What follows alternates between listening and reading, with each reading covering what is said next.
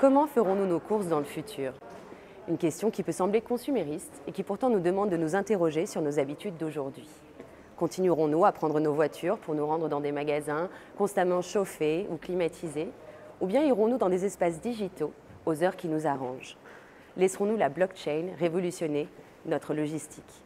Et quel rapport aurons-nous aux marques? Peut-on imaginer un monde où nous leur donnons consciemment les données qui leur permettront de construire les produits dont nous avons besoin? Un monde où l'obsolescence n'est plus programmée, car le marché de seconde main profite autant aux consommateurs qu'aux marques.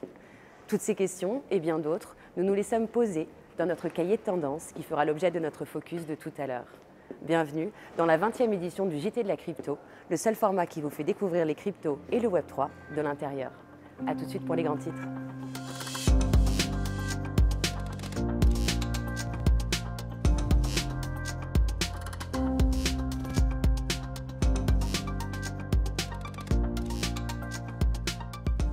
On en parlait il y a quelques semaines, Instagram va très bientôt permettre à chacun de vendre et d'acheter des NFT directement sur la plateforme. La stratégie de la marque de recruter des artistes NFT connus a semble-t-il été concluante. Certaines collections se sont vendues en moins de 11 secondes, comme la collection Aku's Dream Lab par Aku. Le tout premier jeu d'Otherside, le métaverse de Yuga Labs, est sorti. Dookie Dash est un jeu de course à la Temple Run, mais avec quelques twists Web3. Les scores de tous les joueurs sont enregistrés sur la blockchain et les plus hauts scores débloqueront des features en rapport avec le métaverse. La communauté Bitcoin en plein débat existentiel sur la grande question faut-il laisser la vie sauve au protocole Ordinals? Ce protocole permettrait en effet de stocker des NFT sur la toute première des blockchains. Tandis qu'une partie de la communauté souhaite embrasser le futur, d'autres considèrent que Bitcoin devrait rester fidèle à sa mission originale, conduire des transactions financières. Passons maintenant aux chiffres de la semaine.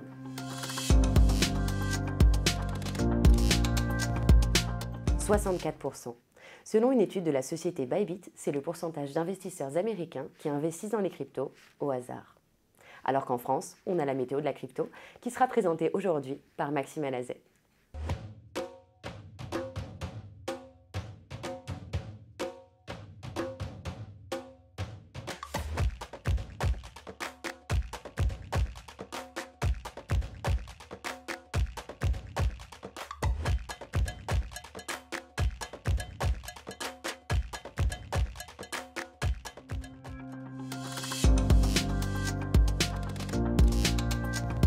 Bonjour à tous et bienvenue à la météo de la crypto.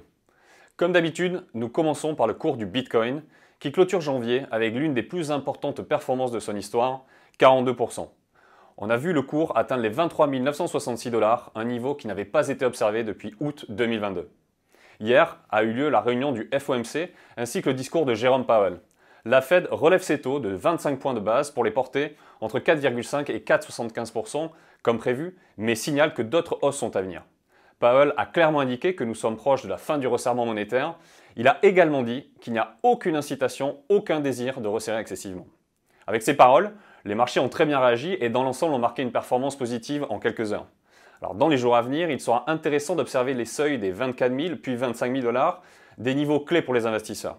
Si vous êtes déjà positionné, vous pouvez envisager une sortie entre 25 200 et 28 500 dollars. Dans le cas où on ne parviendrait pas à franchir ces niveaux, vous pourriez plutôt opter pour un rachat autour des 22 400 dollars.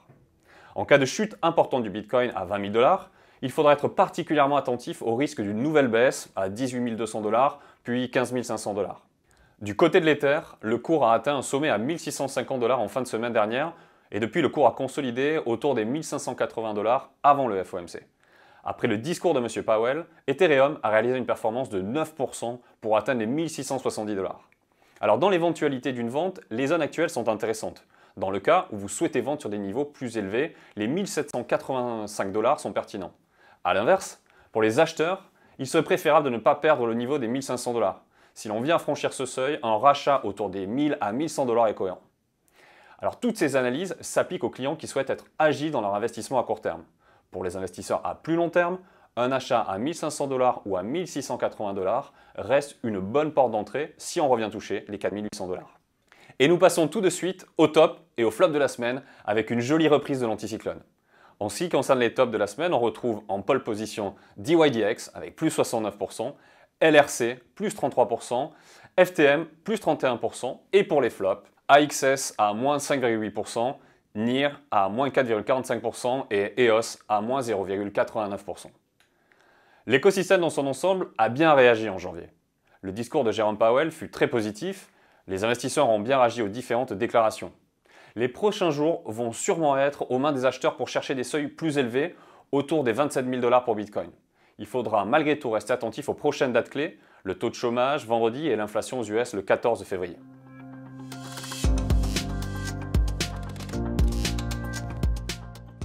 Bonjour, euh, je suis Hubert, du coup je suis concepteur-rédacteur chez CoinHouse et euh, aujourd'hui on va parler du cahier de tendance. L'idée de ce cahier de tendance, c'était de proposer un outil qui nous aide et qui aide nos clients à se repérer dans l'écosystème du Web3 et de la blockchain, qui est un écosystème qui est en perpétuelle évolution et donc il nous a semblé important de proposer un, outil euh, concret et, physique pour euh, justement les accompagner dans toutes ces évolutions. Donc l'objectif derrière ce cahier de tendance, c'était de montrer qu'en fait les technologies Web3, la blockchain, les cryptos avaient des applications réelles et concrètes pour, euh, pour tout le monde. Et donc ce contenu va nous permettre finalement d'identifier les changements et de vraiment nous donner une visibilité beaucoup plus globale sur ce qu'apporte euh, la tokenisation, les cryptos euh, dans notre quotidien à tous. On a créé ce cahier de tendance notamment grâce à l'aide de nos experts. On a une équipe de recherche et de développement chez CoinHouse qui est très impliquée et qui nous tient régulièrement informés des évolutions de l'écosystème. Et puis c'est également aussi un, retour de nos clients qui sont très, euh, très impliqués euh, dans le développement de l'écosystème, de la cryptosphère. Et donc on a combiné toutes ces informations pour essayer de créer un cahier qui parle à tout le monde et, qui vraiment permet de se projeter dans ce qui va se passer en 2023. Les sujets phares de ce cahier de tendance, euh, en fait, c'est vraiment de montrer qu'on passe d'une société digitale à une société tokenisée. Donc on a d'abord euh, abordé euh, la place euh, des communautés, notamment autour des marques, dans l'univers Web3 et l'univers crypto. Donc comment les marques vont réussir à réengager leur communauté au travers des différentes technologies de la blockchain, les NFT et, du Web3. On aborde aussi la tokenisation en tant que telle comme un outil de simplification du quotidien. Donc là, on développe un petit peu plus l'aspect consommateur. Par exemple, pouvoir acheter potentiellement euh, faire ses courses dans le métaverse, dans des espaces dédiés, des espaces virtuels, mais également tokeniser l'immobilier pour simplifier l'accès à la propriété et, euh, vraiment voir en fait l'impact de la blockchain sur la logistique des entreprises, sur les certificats d'authenticité des produits pour vraiment toujours proposer une, expérience client en fait plus, euh, plus qualitative. On aborde aussi la place du Web3 en tant que plateforme sociale et renouveau des réseaux sociaux donc avec tout ce qu'apportent les NFT euh, dans l'identification euh, sur les réseaux, la nouvelle identité virtuelle, mais également les nouvelles plateformes de réseaux sociaux.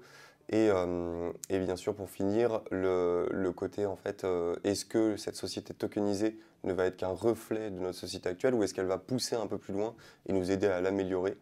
Donc pour cela, on aborde évidemment le sujet de l'écologie, donc la place des métaverses dans, dans l'écologie, et aussi euh, l'inclusion qui est un, aspect euh, crucial pour les métaverses, pouvoir inclure toutes les typologies de personnes dans ce nouveau monde.